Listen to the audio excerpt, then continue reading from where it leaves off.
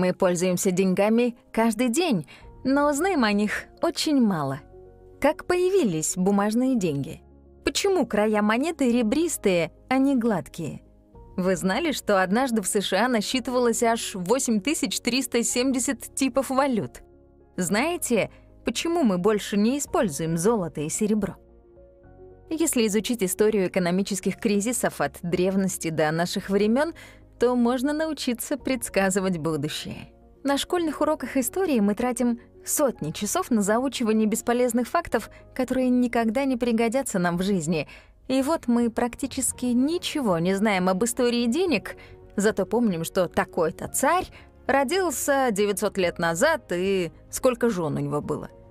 Именно поэтому мы подготовили для вас еще один разбор книги о финансах. Она называется «Деньги. Правдивая история выдуманной валюты» Джейкоба Гольдстейна. В ней подробно описано развитие денежной системы сквозь века. Поехали! Деньги стали неотъемлемой частью нашей жизни, и порой кажется, что они существовали всегда, но это не так. Деньги, какими мы их знаем сегодня, — это фикция — Миф, придуманный человеком. Многие считают, что их изобретение было спланированным и управляемым событием, но об этом не может быть и речи, так как первое появление денег беспорядочно происходило в разное время в разных местах. Углубляясь в прошлое, мы видим, что первоначальная цель состояла в том, чтобы иметь возможность рассчитываться за товар утвержденной денежной единицей.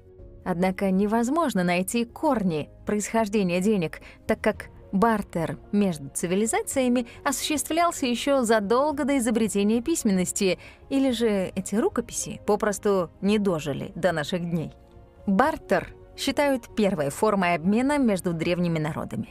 Стоит отметить тот факт, что ранние цивилизации были в высшей степени самодостаточны.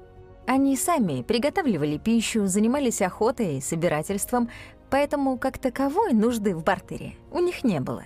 В основном обмены совершались в религиозных или социальных целях. Представители одной деревни делали подношения соседям в знак доброй воли или же в качестве компенсации за ущерб. Возможно, даже за убийство. Или мужчина платил дань за то, чтобы жениться на самой красивой невесте из соседнего племени. А для проведения ритуалов жертвоприношения нужны были животные с определенными характеристиками. Эти животные имели особую ценность, поэтому их можно тоже считать денежной единицей. И если для древних народов этого бартера было достаточно, то что произошло с появлением первых городов? С развитием цивилизации наступила путаница — Обмены совершались повсеместно, их было труднее отследить и зафиксировать, а обмануть или ошибиться проще. Согласно автору, первая форма письменности использовалась не для написания сказок и мифов, а для ведения бухгалтерского учета. Поэтому первые писатели были не поэтами, а бухгалтерами. Более пяти тысяч лет назад жители Месопотамии учитывали долги с помощью глиняных жетонов. Их помещали внутрь полого глиняного шара. Один жетон означал, например, одну овцу. Если внутри шара было 6 жетонов, значит, он был стоимостью 6 овец. Затем систему усовершенствовали, и вместо жетонов на поверхности шара стали просто оставлять отметки. По мере того, как население увеличивалось, а города разрастались, вскоре и эта система ведения учета устарела. На смену глиняным шарам пришли таблички — Первой валютой правителей Месопотамии стало серебро. Драгоценный металл был в дефиците, его было легко хранить и плавить. Однако городские жители все еще были самодостаточны и не признавали никаких денег. Тогда сборщики налогов стали взимать с них плату. Забирали часть урожая, имущества или даже конфисковали недвижимость. Великая и развитая цивилизация инков, например, вообще не нуждалась в денежной системе. Их правители говорили жителям, что и когда выращивать, а полученный урожай разделяли по установленному порядку. Золото же использовалось инками в целях религии или искусства. В Древней Греции тоже практиковали налоговые сборы и систему распределения ресурсов. Греческая цивилизация рухнула около 1100 года до нашей эры, а затем снова расцвела и стала так называемой колыбелью европейской цивилизации и демократии. Столь сложная социально-политическая система привела к необходимости внедрения денежной системы. Примерно в 600 году до нашей эры в Лидии, сегодня мы ее знаем как Турцию, стали использовать золото. Лидийцы делали первые монеты из электрума. Это природный сплав золота и серебра. Естественно, когда об этом прослыли греки, то захотели такую же систему. Она бы значительно облегчила транзакции. С ее помощью было бы проще обозначать ценность вещей. Это то, что было нужно развитому греческому обществу. В Древней Греции существовала агора — место для проведения общегражданских собраний. Место, где ораторы выступали с речью, а народ слушал и обсуждал. С появлением лидийских монет торговля значительно возросла. Площадь Агоры была заполнена торговцами. Сегодня слово «агора» в греческом языке — это существительное, означающее «рынок», и глагол, означающий «покупать». Появление монет произвело революцию в сфере труда Древней Греции. Если раньше рабочие трудились весь сезон или даже год и в качестве оплаты получали кров, пищу и одежду, то теперь в конце каждого рабочего дня требовали платы монетами. И если их не устраивало жалование, то работяга мог отправиться на поиск лучшего предложения. Что примечательно, китайцы изобрели монеты примерно в то же время, что и лидийцы. Вот такое вот историческое совпадение — но это были не монеты в прямом смысле слова, а инструменты, которые имели символическую ценность — ножи, мотыги и лопаты из железа и бронзы. Их полноправно можно было назвать валютой. Эти предметы ценились в народе благодаря прочности, надежности и полезности, но все же они были массивными, что затрудняло транспортировку, поэтому в VI веке до нашей эры китайцы стали производить мини-версии инструментов. Это изобретение способствовало росту китайской экономики за счет увеличения количества торговых обменов. Экономика росла. С течением лет Китай стал великой империей, и теперь народу было не обойтись без ведения бухгалтерского учета. Изначально для письма использовали бамбук и шелк. Спрос на ценное сырье постоянно возрастал, и китайцы искали более доступный материал для письма. А как известно, необходимость — мать всех изобретений. Поэтому вскоре Евнух по имени Цай Лунь изобрел бумагу. Бумага очень понравилась китайцам. Ее стали использовать повсеместно. Изобретение сделало Цая богатым и знаменитым. В то же время в Китайской империи распространялся буддизм.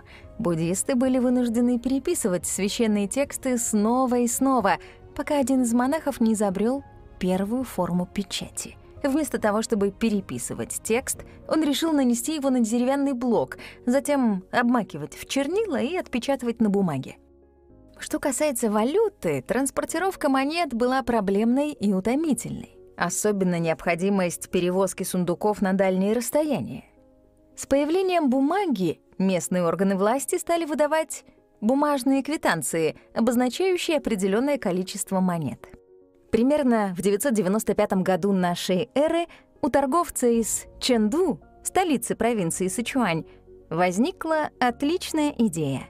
Он брал монеты других людей на хранение, предоставляя взамен бумажную квитанцию, равную сумме вложения.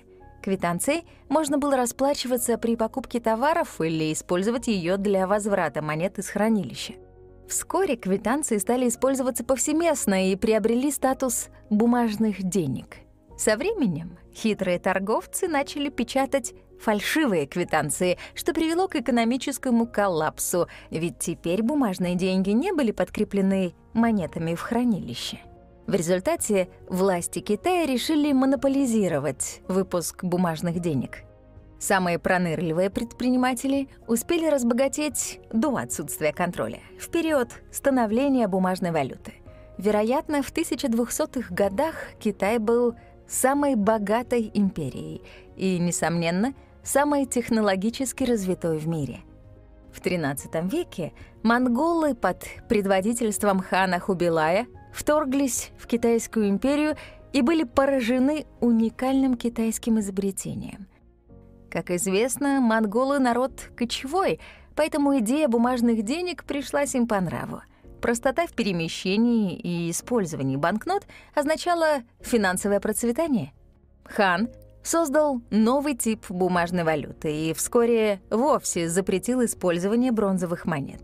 Теперь Хубилай мог напечатать неограниченное количество денег, чем он, собственно, и занимался. Стремление великого хана к власти привело его к осуществлению плана захвата нынешней Японии. После двух неудачных попыток Хубилай выделил средства на строительство лодок, способных доставить к японским берегам более 70 тысяч монгольских солдат. Бумажных денег стало так много, что в итоге правительство отказалось выдавать бронзу и серебро в обмен на купюры. Последовал новый экономический крах. Цены взлетели, началась инфляция. Однако экономика со временем стабилизировалась, но даже после кризиса люди вернулись к использованию банкнот, несмотря на то, что бумажные деньги не были подкреплены ценными металлами. Да, это были просто бумажки, но теперь они функционировали как общепринятые деньги.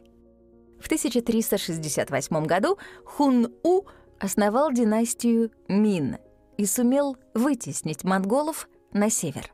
Династия искоренила монгольскую валюту и вернула в Китай более примитивную экономику, без торговой и денежной системы.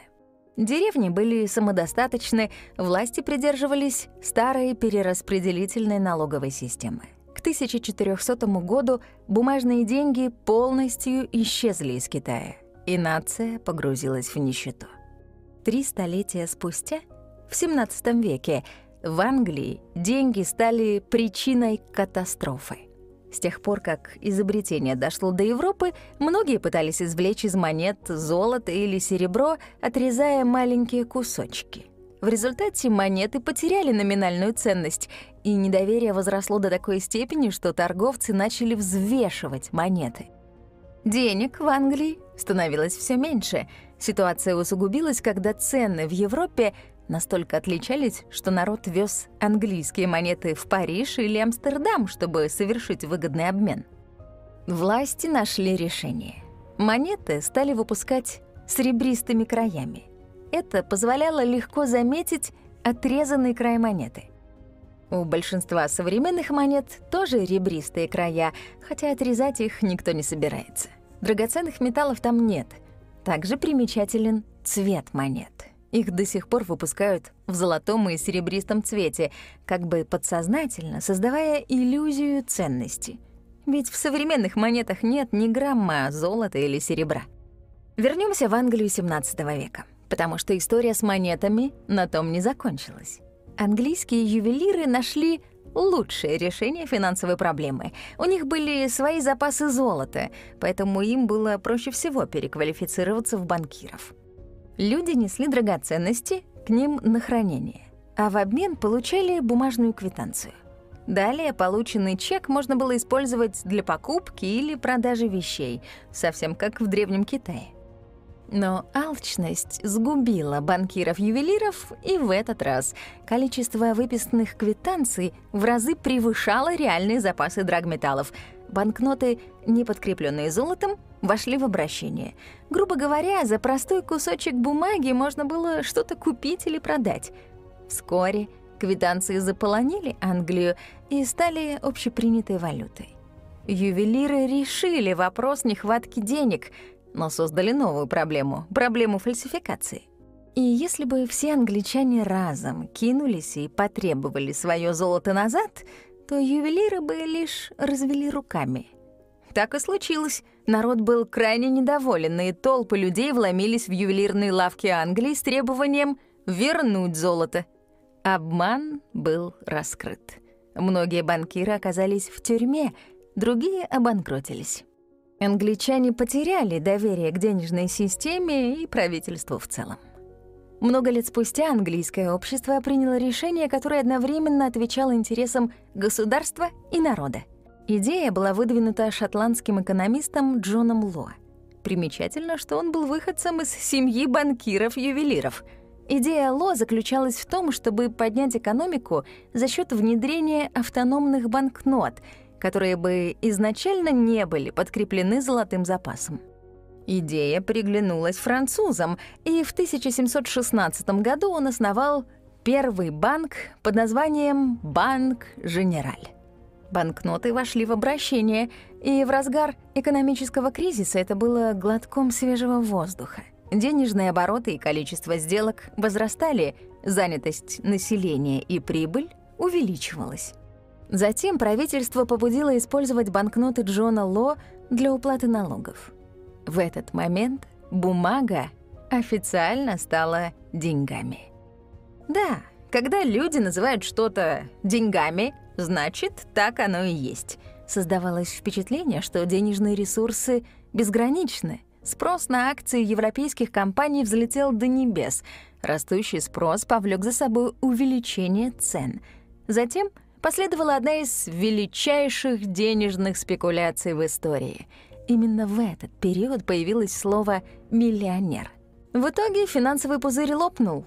Люди вновь потеряли деньги, что повлекло за собой очередную волну недоверия.